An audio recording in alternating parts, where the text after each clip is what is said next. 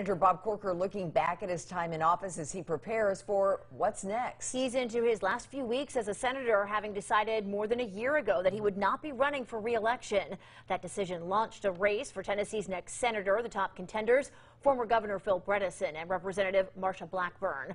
On election night, Blackburn came out on top, keeping the Senate seat in Republican hands. Corker, once rumored to be in the running for a spot in President Trump's administration, has at times feuded with the president. A clash that's included some name calling. Our top story tonight, WATE 6 on your side reporter Blake Stevens sitting down with Corker. Blake joins us here in the studio. So after traveling to Chattanooga today to meet with the senator, what is on his mind right now as his time in the Senate comes to an end?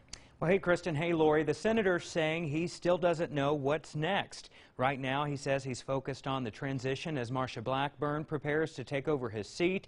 The senator also wanting to finish out strong on policy. He's looking at legislation on human trafficking, fighting HIV around the world, and on women's empowerment in Africa. Now, will he be running for president? It's still a possibility. Senator Bob Corker looking back on 12 years as he finishes his political career for now. It's been the greatest privilege of my life to serve in the Senate. In 2007, Corker transitioning from the mayor of Chattanooga to the U.S. Senate. There, he would deal with issues ranging from the war in Iraq to a financial crisis. More recently, the chair of the U.S. Senate Committee on Foreign Relations would deal with a Twitter feud involving the President of the United States. Here's one tweet from President Trump. Isn't it sad that lightweight Senator Bob Corker, who couldn't get reelected in the great state of Tennessee, will now fight tax cuts? And here's a rebuttal from Corker.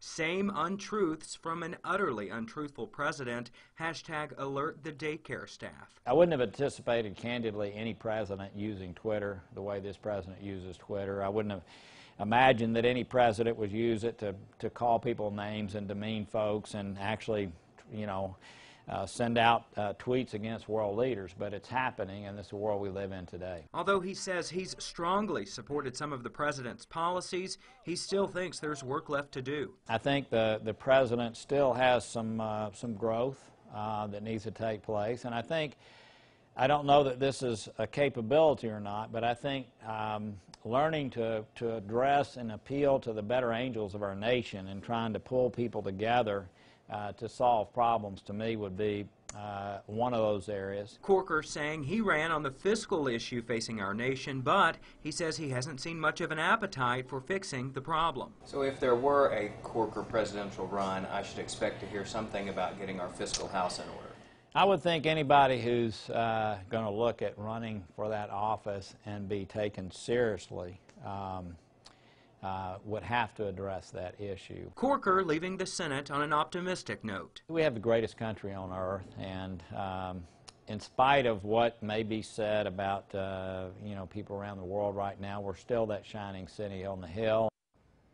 And hey, I just want to add, Corker complimented the president on the economy and on his two Supreme Court appointments. He also acknowledges some foreign policy wins from the president, like in the fight against ISIS, but he says he's concerned that we're ripping apart alliances with other countries just for the sake of ripping them apart. That, he believes, is not helpful to our country. Guys. All right, Blake, thank you so much. Corker also chiming in on the president's criticism of the media. He says attacking the media by calling them the enemy of the people is, quote, incredibly destructive to our country.